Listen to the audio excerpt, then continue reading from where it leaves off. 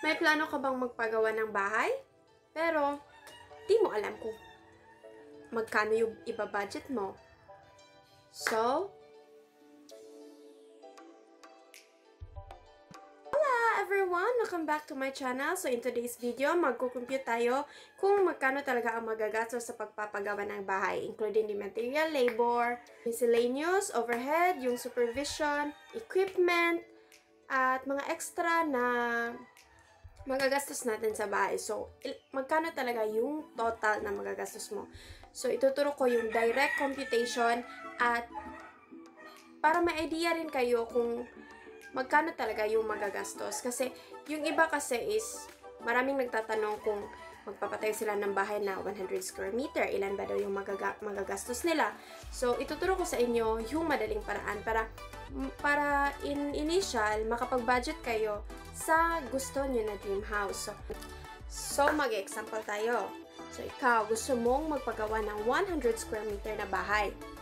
Pero, di mo alam kung paano, paano ito makukompute.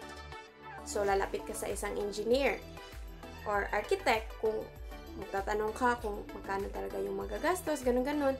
So, in, para, para may idea ka rin initially is, kasi type ng type finish sa isang bahay. So, ito yung standard, semi-elegant, at saka elegant house. So, sa standard, so makikita mo na, ano talaga ito, yung yung finish niya is naka-skim coat, naka-paint, pero mga ordinary things lang talaga ang nandun, ordinary materials.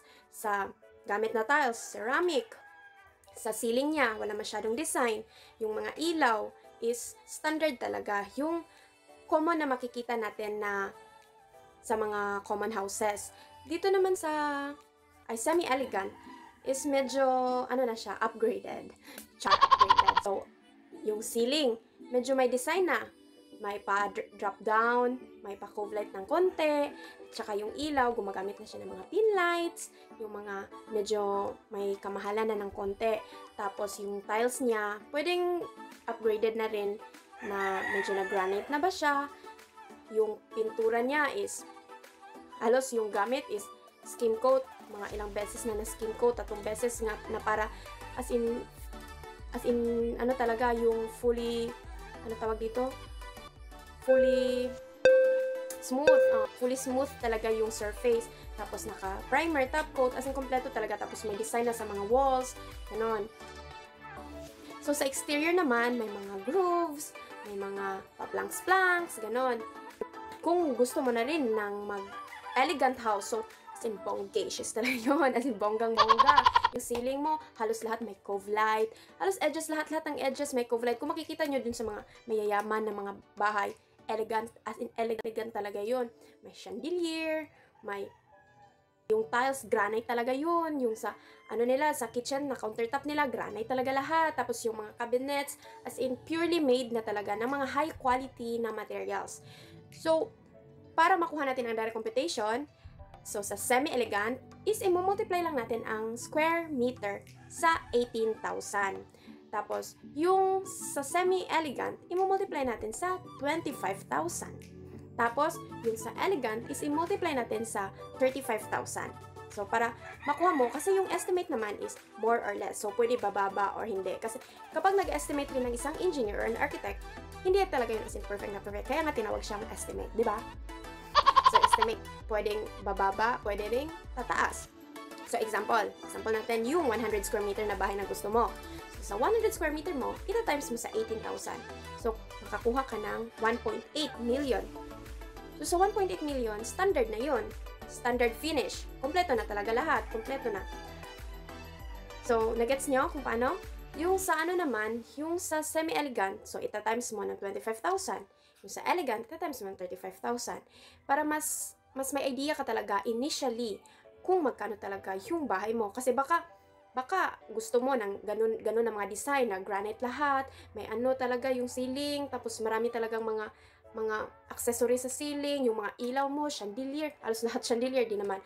Pero halos lahat chandelier, pero di mo alam kung paano, kung magkano yung budget. So, dapat, alam mo initially, sa base sa kaya or capacity mo financially. So, financially, kaya mo bang magbahay ng 2 million, around 2 million na 100 square meter. So, expect mo na standard finish yung bahay mo. Para di ka masyadong mag highly expected na ah, na ang 2 million mo is aabot na ng ganun na mga specs, ganun na mga materyales, hindi. Kasi, i-compute kasi yan. So, example, may idea ka na. So, pag may idea ka na, pwedeng itanong mo yan kay engineer, kay architect, tapos gagawa siya ng detalye. Yan yung tinatawag nila na bill of quantity. So, B, tinatawag niyan in short na BOQ. So, makikita sa BOQ yung example sa earthworks, as in, ano talaga yung detalye? Earthworks, reinforced concrete, masonry, formwork, scaffolding, plastering, ceiling, tiles, makikita lahat, naka-breakdown lahat. So, aside aside sa kara specs na makikita mo, example, reinforced concrete, makikita mo doon yung ano yung mga materials na gamit, cement, sand, gravel, mga mga bakal na gamit, ilan yung quantity, magkano yung price, at saka total amount. So makikita yan sa BOQ. So after na yan, so pwedeng na yung ginawa ni engineer or ni architect na BOQ is lalapit siya sa dinirect na compute mo. So, sa 1.8 million mo, tapos may BOQ ka, halos more or less 1.8 million din yan. Kasi depende yan. Kasi baka may gusto kang extra na, extra pa na materials na ma-add. So, So, mas a-above siya sa 1.8 million. Yung sinasabi ko na mga 18,000, 25,000, 35,000, building alone lang yun siya. So, building lang. Hindi kasali yung landscape, swimming pool. Ano ba, magpapagawa ka ba ng basketball court sa bahay mo? Di yan kasali.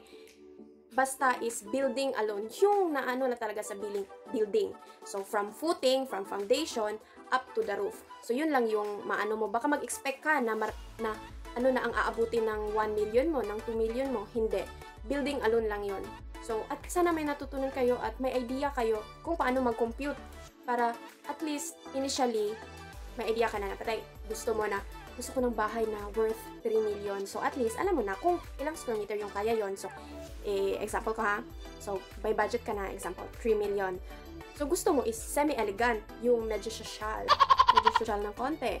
So, yung 3 million mo, i-divide mo ng 25,000. So, makukuha mo yung per square meter, yung square meter na magagamit sa bahay mo. So, try mo mag-compute at makukuha mo yan. So, sana may natutunan kayo at huwag niyong kalimutang mag-subscribe and hit the notification bell para updated kayo sa mga ipopost pa na videos. So, see you on our next vlog. Bye!